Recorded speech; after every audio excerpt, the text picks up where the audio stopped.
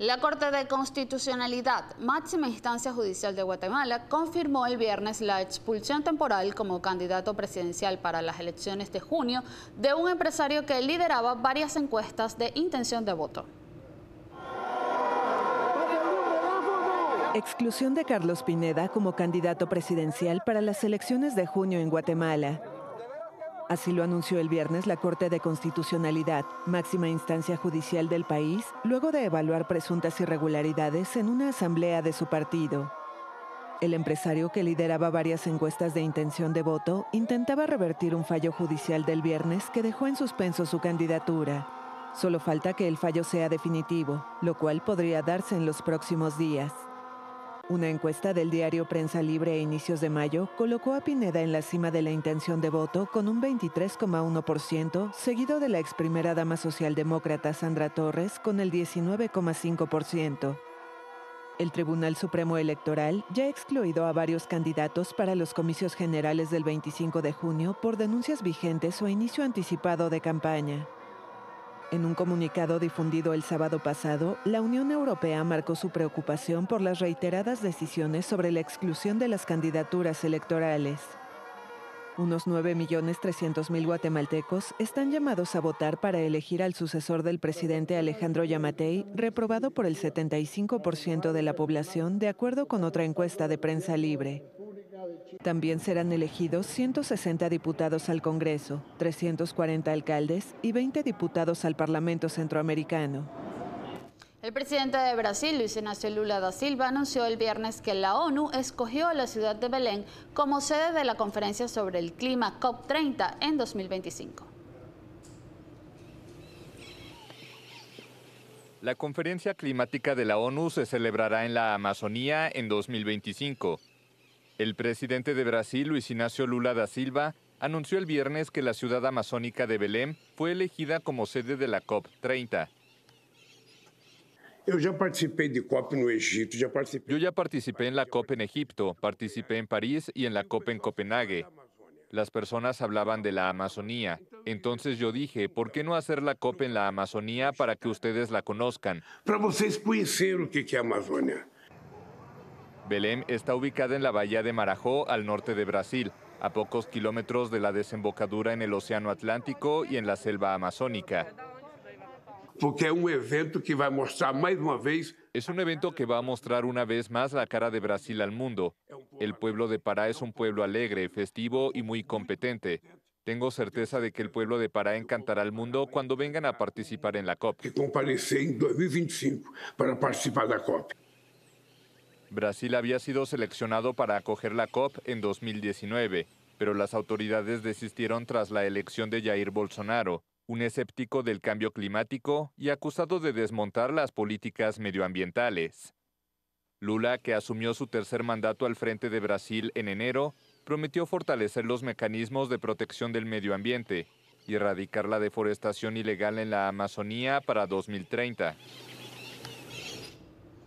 Al menos 10 personas murieron en una avalancha en una región aislada del norte de Pakistán, según informaron las autoridades, que señalaron también que las dificultades para acceder a la zona han complicado las operaciones de rescate. La avalancha que dejó además de 10 heridos se produjo cerca del paso de Shaunter que conecta la región de Gigil Baltistán con la zona de Cachemira administrada por Pakistán. Un grupo de unos 35 nómadas que regresaban de Cachemira estaban acampando cerca de un barranco, declaró un funcionario de los servicios de rescate. Fueron alcanzados por una avalancha que se produjo tarde en la noche y que dejó al menos 10 muertos, añadió. Las autoridades de Gigil Baltistán confirmaron el alcance de fallecidos en un comunicado. Algunos habitantes de la zona están a cargo de las operaciones de rescate debido a la dificultad para acceder a la zona, explicó un responsable de la policía. El acceso a la píldora del día después es un tema que se ha vuelto en debate en América Latina. Honduras ha sido recientemente el último país en permitir su uso, después de prohibirlo desde 2009. Pero, ¿qué retos y estigmas enfrenta este medicamento en la región? Lo vemos esta semana en Panorama. Las pastillas del día después son un tipo de anticonceptivo que ayudan a retrasar la ovulación, de modo que el espermatozoide y el óvulo no pueden encontrarse. Entonces no hay fecundación. Las pastillas abortivas, por su parte, interrumpen un embarazo que ya existe. Empezamos con el mero nombre de la pastilla. La pastilla formalmente se llama pastilla anticonceptiva de emergencia. ¿No? Entonces yo quisiera recalcar pues que es para emergencia. Bajo el malentendido de que la píldora del día después provoca abortos, desde 2009 esta pastilla se había prohibido en Honduras, uno de los países latinoamericanos con políticas más restrictivas para interrumpir el embarazo. La presidenta Xiomara Castro cumplió con una de sus promesas electorales y la volvió a permitir.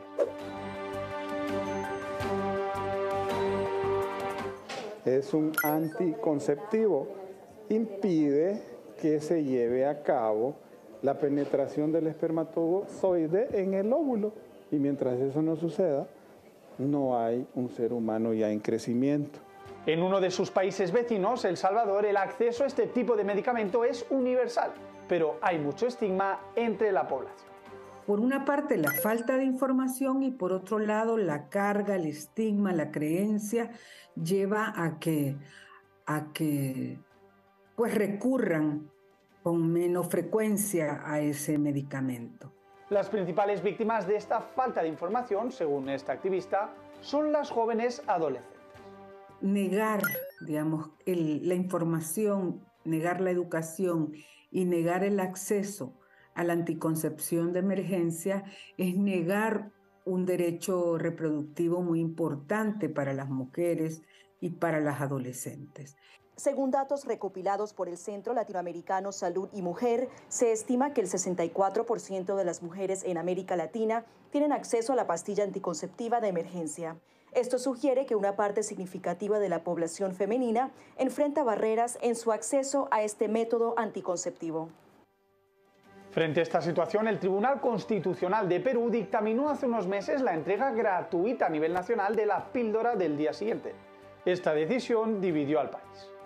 No estoy de acuerdo con que las personas utilicen esta pastilla del día siguiente ya que van a hacer un uso indebido de esta. La van a utilizar mal, la gente va a volverse más promiscua. Estoy a favor porque es un método anticonceptivo de emergencia.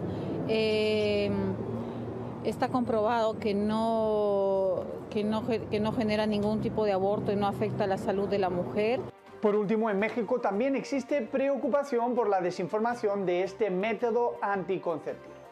Hemos tenido pues un consumo un poquito desmedido, ¿no? Un consumo digamos que incluso hasta irresponsable, porque eh, se, han, se han registrado incluso hasta personas desde una a 30 tomas en el, en el año.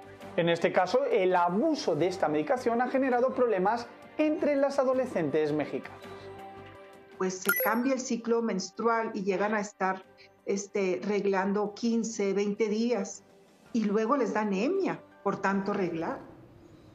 No nos da miedo, asegura Eufemia, entre mugidos, cacareos y chillidos durante una venta de animales cerca del volcán Popocatépetl, que transcurre casi ajena a la intensidad de la actividad del coloso del centro de México. Veamos. San Andrés Calpan, un poblado en el estado de Puebla, en el centro de México, está en alerta por el aumento de la actividad del volcán Popocatépetl, pero muchos siguen con su vida normal. Ya no nos da miedo. Desde que el coloso Don Goyo se reactivó en 1994, tras casi siete décadas de quietud, los habitantes conviven con explosiones, fumarolas, pequeños sismos y caída de ceniza en distintos periodos.